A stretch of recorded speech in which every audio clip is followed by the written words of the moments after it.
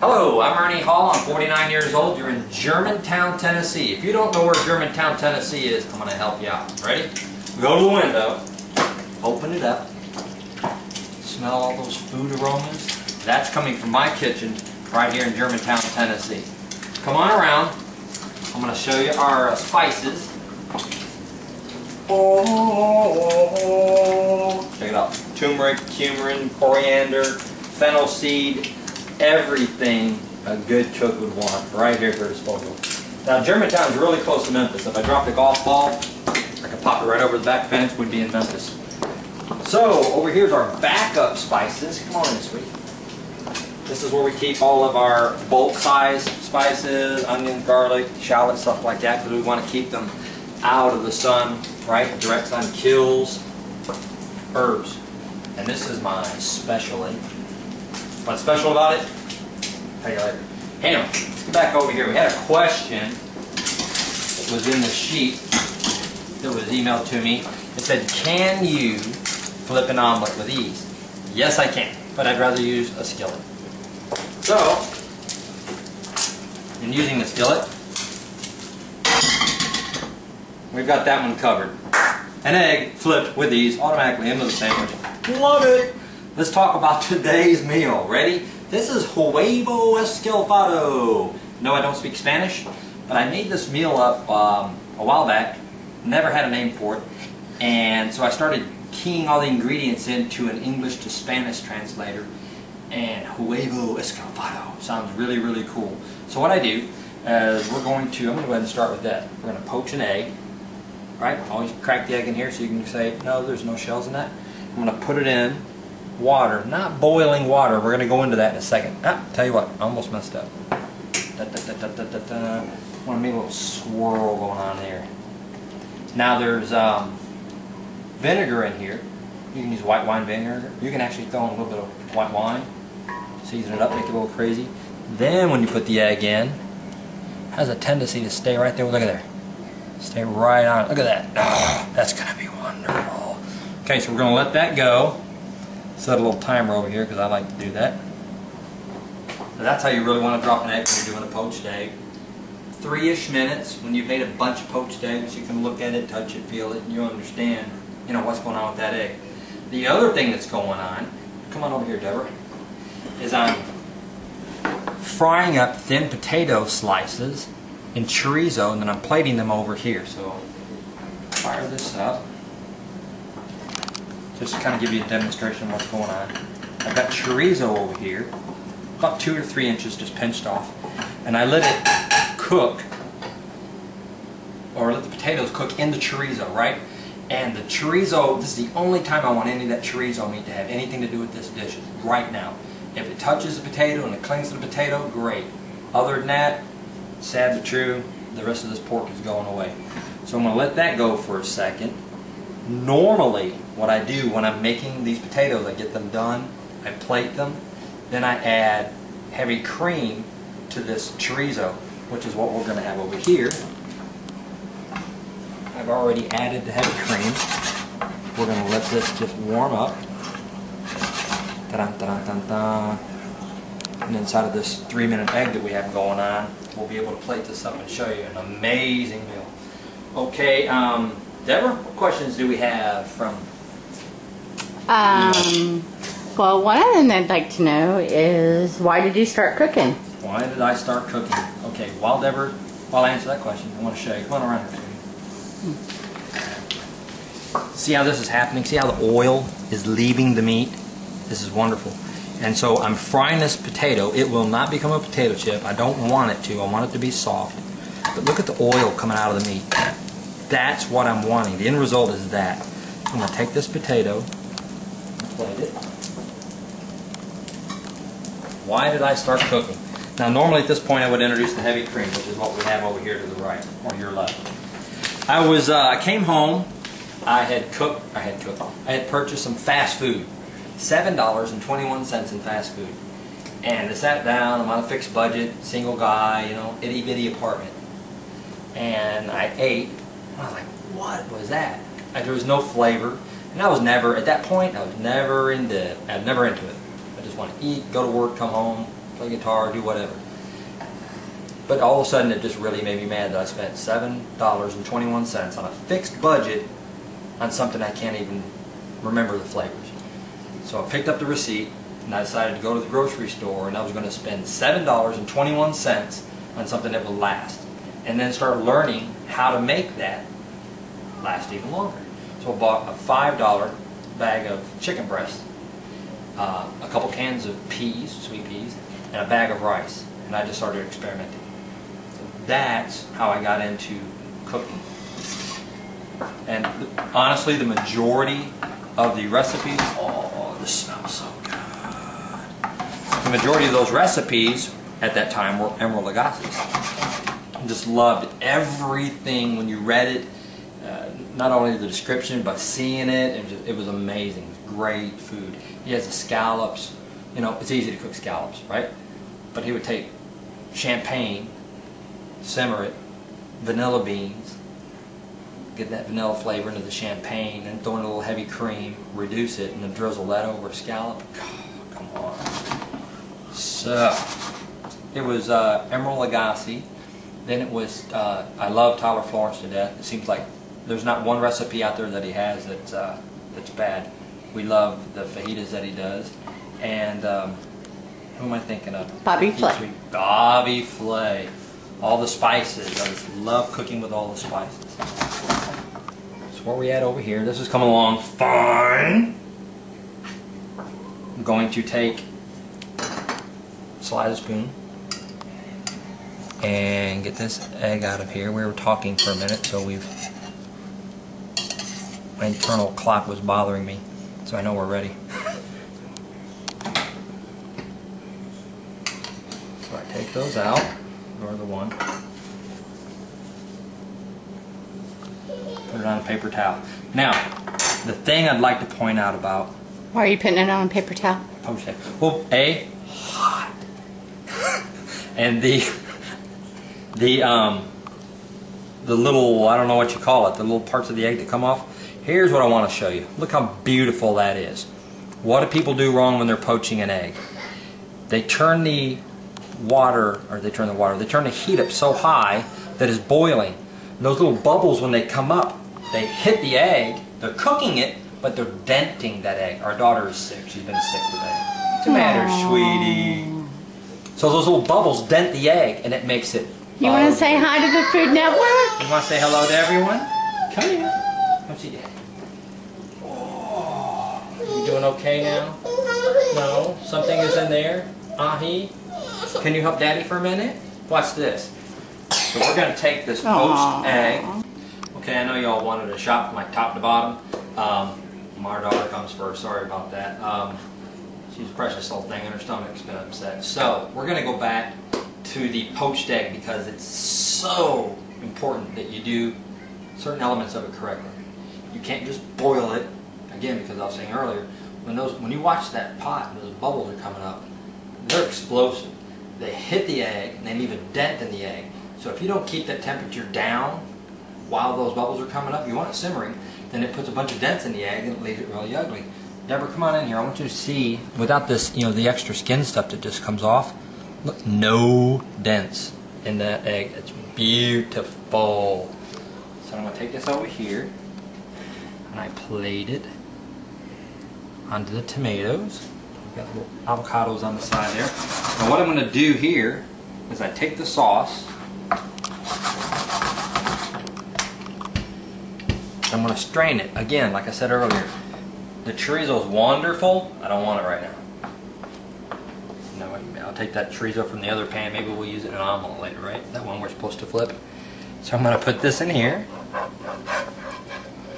And all I want is smooth, creamy chorizo sauce.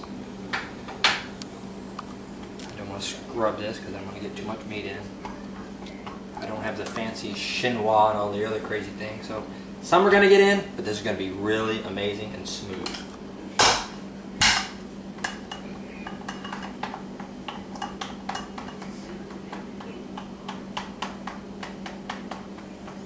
Oh, amazing, emphasize enough how much I'm in love with chorizo. It smells great. If it was a cologne, I'd wear it. It tastes great. I can't think of too many things it wouldn't pair with. Even beer pairs really well with beer. Okay, so I'm gonna move this over here.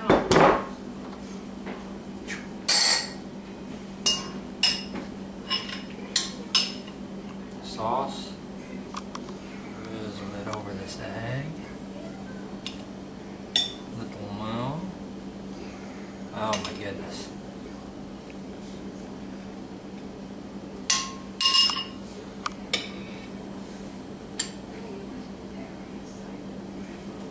Pretty, pretty plate. Cojito. And definitely not least, some pico. A nice heavy pico, by that I mean nice and spicy on top. Simply amazing. Crazy great flavors going on right there. And it's a spin off of an Eggs Benedict, right? I wanted to. I make eggs every single morning of some style, every single morning, just to keep working on it. And of course, at night it's the same thing. I probably made a bazillion mahi dishes. But you keep working on them, keep working on the sauces, keep working on the proteins till you perfect them. So it's like if I cook a poached egg yesterday, how can I make a poached egg today even better? So I'll tell you what, Deborah, keep your camera on that. I'm going to prove that that's a perfectly poached egg. Somebody's probably going, yeah, show me the yolk. Oh. There it is.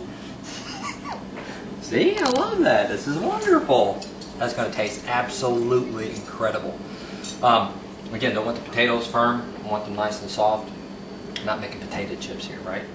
Okay, let's go back to questions. Let's figure out what you guys want to know. Deborah? Okay. Are you competitive with your cooking? Do you enter competitions? Absolutely. Hey, sweetie. how you Are doing, you feeling sweetie? better? You want to come up here, she- Daddy? she's a daddy's girl, that's for sure. Um, I was the lead cook on a gumbo competition for Harley Davidson. I was asked to be their lead cook, and of course we took fourth place. So I renamed the gumbo fourth place gumbo. Of course, in my opinion, it was the best, number one. But uh, we took fourth place, so I renamed it. We're fourth place gumbo. If you look over here at these guys, this is our first place trophy. This is our second place trophy.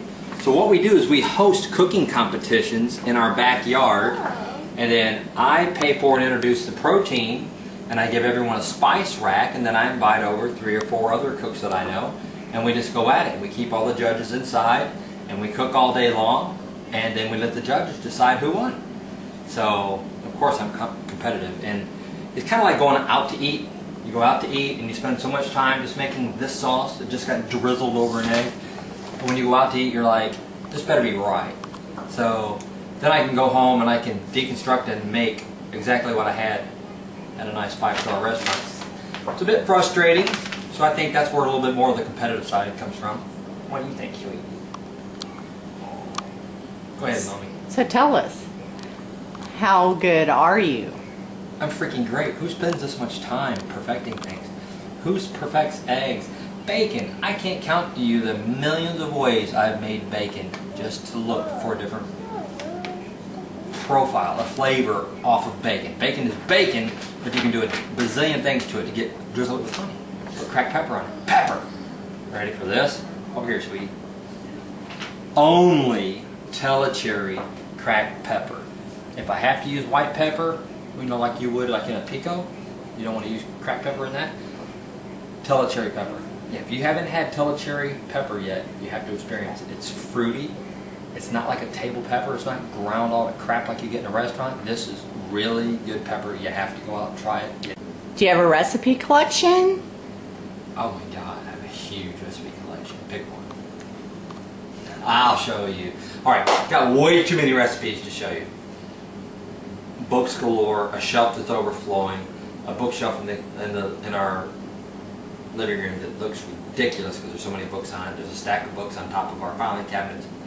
It just goes on and on and on. However, this is like where it all began and just continued to snowball from there. Follow me back sweetie. This is about one eighth of our collection of Food Network uh, recipes. It's just ridiculousness because it just keeps going on and on and on. My goodness. Yeah. I want to look at them, I want to make them because when you read them, I want to make them. There's like chicken with creamy mushrooms. Mini quiche. This is from my mother, Food Network. Mini quiche, mini onion quiche. Just, oh my god. So yes, this is where it all started. And believe it or not, um, after I had a beer with Emeril on my boat, I came back home and was going through my Food Network recipes, and right around 85 to 80 percent, 87 percent of all the recipes that we have are from Emeril.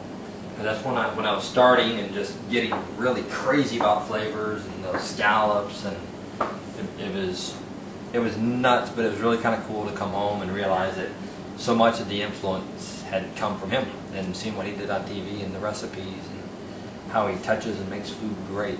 So, okay. Yes, I have recipes. Alrighty. Let's see. What are you like in the kitchen? What kind of question is that?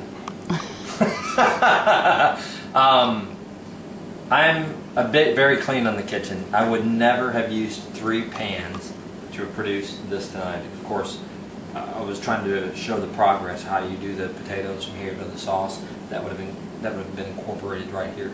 But I wanted to have that ready instead of spending all this time cooking. Rather answer questions. Alright. And what's your earliest cooking memory? Oh my goodness. Um, the Boy Scouts. Earliest memory I have of cooking is the Boy Scouts. I was going for my cooking badge, and you had to do three things. I was at the Boy Scout Jamboree, which is a jamboree, jamboree, whatever. Huge event where all the Boy Scouts once a year get together, and everybody works on all these different skill sets, and you're going to get your badges. Well, I had to make three things to get my cooking badge. I had to make chocolate milk, I had to cook bacon, and I had to make scrambled eggs. So, that's all they do. They give me this giant wok, and of course I was probably as big as Gianna, so the wok looked huge. It was probably about this big, but I don't know. Um, they gave me this giant wok and said, cook, that's it. And they watch you, and if you get it right, you get your, your cooking badge. Um, so, from those three things, I made bacon, and then I made scrambled eggs, and then, in the same wok, I made chocolate milk. So it turns out chocolate milk is not appreciated when it tastes like bacon and scrambled eggs, so I did not get my cooking badge. Hmm. Great I know. story, sweetie. And it's horrible all at the same time. Uh, let's see. What is your favorite cooking utensil and why? Oh Lord. I would be remiss not to say the bloody knife. Titanium coated knives. Uh, Deborah has purchased me all of my really cool knives. Um, but when I got to this titanium, I'm at a dead stop right now. I'd, it would be hard for me to break away from these. These are amazing. But, in mentioning the knife, I have to say, I honestly think that my favorite thing in the kitchen is the Six Eye Thermador. It is amazing. Six Eyes, when I got it, it was, you're supposed to tie it into your house gas. I didn't. I contacted Thermador, got an LP kit. I changed out all the jets, changed out all the jets and the knobs, and I run an LP tank underneath here. I can cook for three months on an $18 tank. High BTUs. These two eyes over here are sauce eyes, so you can turn it on, turn it within this range where it'll turn on, turn off, turn on, turn off, and it gets really delicate with the sauces, so it's not going to hurt anything. How you doing, sweetie? You feel better? You feel better? You do? Okay, can mommy and daddy work now? We'll be in the living room in a minute. Okay, I love you. We'll be right in there. So, this is in the kitchen. Pride and joy. This thing is amazing. Nothing gets done in the kitchen without a good knife. But as far as the toys in the kitchen, all the stuff that we've got, I love the thermostat. Alright, and do you want to show them what you gave me for my birthday? here? Oh. Um, I made a mess, a huge mess in the kitchen one day, trying to make fajitas for a bunch of Marines that were over here. I'm a Marine. Had a bunch of Marines come over. One of them was Spanish, and he brought fajita meat that was pre-seasoned, so it's orange, right? And everything you touch turns orange. So it made a mess. And then Deborah was like, it'd be really nice if we could just step on something and the water would come on. Hold on, sweetie, we're cooking. Actually, we're working. So I went to Lowe's. Show everybody what this is. I went to Lowe's and I bought these pedals, and I come up with my own configuration underneath the sink to where when you hit the pedal, you get hot and cold water. Them again. Yay! So that's a neat treat to have in the kitchen, any kitchen. I mean, hands passing underneath, hands free, all that stuff. That's great. Pedals, love it to death. All right. And uh, you want to show us your pantry? I would love to show you the pantry. Of course.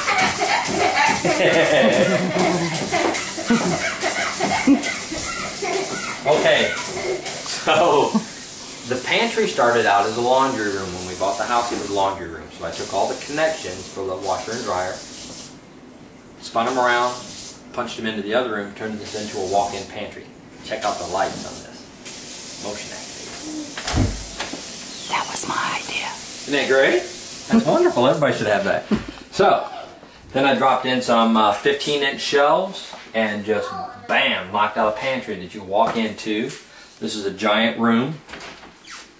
Um, we have all of our dried peppers here. I mean, I could go through this for, for hours going over what we have in here and what we do with them because it's really amazing. But it's really nice to have a walk-in pantry. We're truly blessed to be able to have a room where we can just walk in and pick food from. I have other cooking uh, utensils in here, large and small on the counters, but this is a 33 inch griddle. It's exactly what I have on my food boat down in Florida. I have two of them, but I, I leave one assembled and one on the side. And we only use it for when the volumes get really high, but 33 inch griddle, everything gets cooked on it, freaking amazing. It's LP gas, gotta love it. And so that is the pantry in a nutshell without getting into details. All right. There's more in for us for you. Come on. Mommy and Daddy are working. I know, it's been very slow.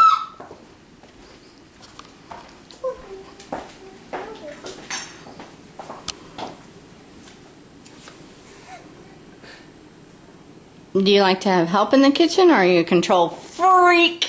I'm not a control freak. Um, I don't really need help in the kitchen. Um, you know, my mother's helped in the kitchen. Deborah helps in the kitchen. Deborah's mother's helped in the kitchen. Different times when we have a bunch of friends over, you know, we'll have one or two of them uh, help. But I'd much rather be completely responsible for everything that comes out of the kitchen. So it's not free. It's just control. And why do you know you could win this competition? Who puts? I, I, I don't know. I know tons of people who cook. I know chefs. I know people. We have friends who own restaurants all over the nation. I don't know anybody that puts this much time into how can you cook an egg better every single day. How can you cook bacon better every single day? Okay, stop. Everything from mahi mahi to burgers to steaks, everything is perfected every single time you make it. And she's having so much fun with toast. That's a two-year-old for you. And she's feeling better. oh, for sure. And that's great. Who all do you cook for? Who all do I cook for? Uh, primarily, um, of course, my family. Uh, we have a nice house for having, you know, parties over. We have a pool in the backyard. It's all glass on the back. So all of our friends, family, of course, baby Gianna, she gets to eat great food and will eat everything. I know, but we're working right now. You feeling better? Your tummy better? Whoa. Uh-oh. Go see. So I cook for everyone, our friends. Uh, you know, my wife cooks as well, but primarily I cook for everybody. I like to cook down in Florida, make sure those people get to taste our food. So All right. And what would winning a large cash prize mean to you? a bazillion dollars. I hear they're promising a bazillion dollars. I haven't seen what that looks like on paper. I can imagine a bazillion dollars. No, I'm messing with you. Um, right now, I think everyone in America could appreciate having a large sum of money that you know they could put into their family. If um, the love and dedication that I put into food brings that our way, thank God. I mean, just uh, it would help us out. We're, we're just normal American people. We, we have a house note as well. We have bills. We have a two and a half year old daughter with no medical coverage. So, you know, everybody could benefit from that kind of money. I would, I would love to be able to take my food boat into a bigger project, you know, across America. Um, more cities. That would be great. It, would, it just it would help us out tremendously. It would help everyone out.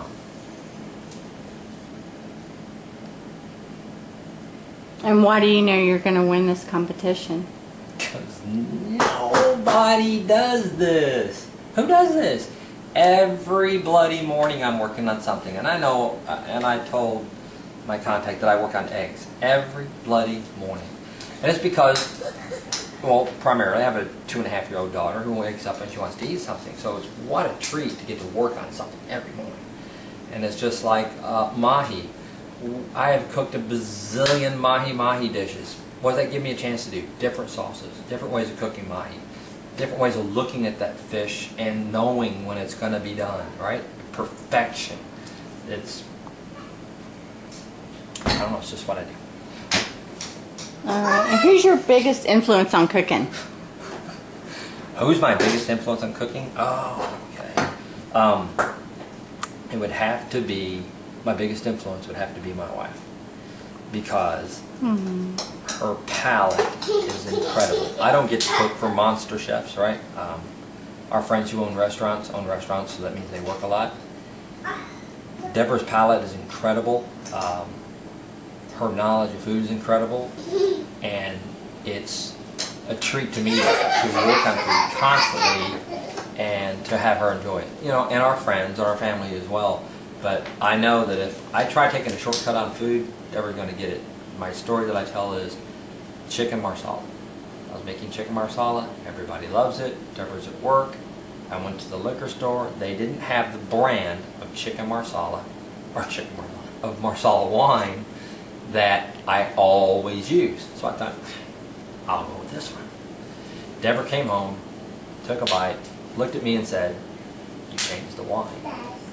That level of palate, insanity. And all of that that I get from Deborah is also, it, it helps me immensely. I always get some form of feedback or I get some form of education from what her, she knows and what her palate knows. So, Thank yeah, you. so Uh, what sets you apart from the other home cooks? Um, I think everybody, all the home cooks cook a lot. All the dedication that they have, that's great. Uh, I work to details. I love food so much. I work to the details of everything I'm making, whether it's simply an egg, or simply a sauce, or simply some kind of protein. I work it to death. Um, I think one of the questions was, do you have great knife skills? Yes, I do. What do I consider better? Deliberate knife skills. Do I consider somebody who can crank out an amazing sauce in three minutes? Or do I want an amazing sauce, the exact same one that took 15 minutes? I'd rather have the 15 minute sauce. More time and dedication put into that. What sets you apart from all the other home cooks?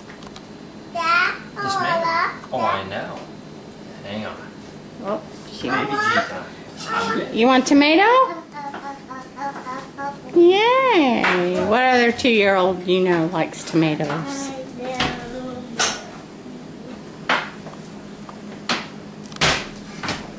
Go, sweetie. Hey. What a great baby. I'd rather have tomatoes than anything else.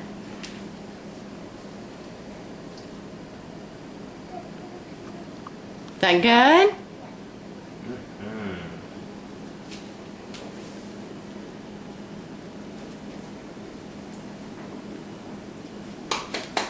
Yay! Mm. Good job. We'll take it in the living room with you so you can watch TV. Those are hot. You Oh. can't have that. All right, we'll be in there in a minute. Okay. Question again. All right. What sets you apart from all the other home cooks? Um, I honestly think that what sets me apart from everyone else is this isn't something that I made up so it would look cool on tape tonight. This is something I made up for breakfast. This isn't how we plate because we want to impress all of our friends. This is how we plate all of our food. From top to bottom. Burgers, steaks, and egg. Everything always has this level of detail in it. We don't this is how we cook, this is how we eat. Every meal, every day. I don't think the rest of the people who want to be on this show cook this way. Every single meal, every single day. I just don't see it happening. I don't. I don't I've, I've never met anyone who's like us. I've never gone to one of our friend's house who own restaurants and other businesses and they eat like this. They don't, they cater it in, they get a platter from wherever, what the heck ever, right? Not what happens here. We eat like this every single day, every single meal. Um, personality. I have a great personality. I like me. You like me. It just works out that way. I've never met a stranger. When I meet a stranger, I give him a name. I call him Chuck. Hey, Chuck! He's no longer a stranger, right? Because he's now my friend. Um, and I know there's going to be a lot of people trying out to get on this show who think that they're better than picture Ernie, right? They see Ernie, they see his food. Well, guess what? I'm coming for them too. Guns ablaze. They're not going to see me coming. I have so many secrets up my sleeve. An egg, the least of which. So, I'm Ernie Hall. I live in Germantown, Tennessee. I'm 49 years old, and I can kick everyone's butt in America when it comes to cooking food. Call me.